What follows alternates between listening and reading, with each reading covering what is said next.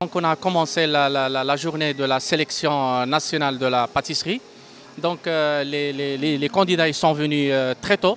Ils sont venus très tôt aujourd'hui à 6 h du matin. Donc on a commencé à 7h30. Donc tout le monde est en place, tout le monde travaille dans leur box.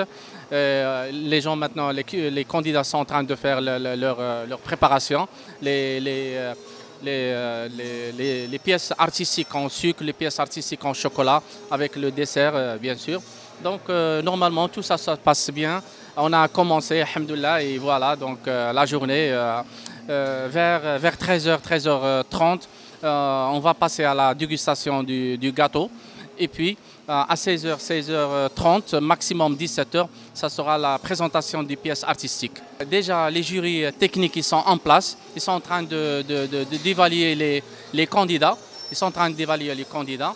Donc euh, voilà, donc euh, côté organisation, côté euh, préparation, et côté gestion de, leur commis qui est avec eux, et voilà, donc euh, ça se passe très bien pour l'instant. Euh, en tant que président dans euh, cet événement-là, donc pour maintenant je, vais à ce que le, travail doit être fait dans les bonnes conditions pour les candidats.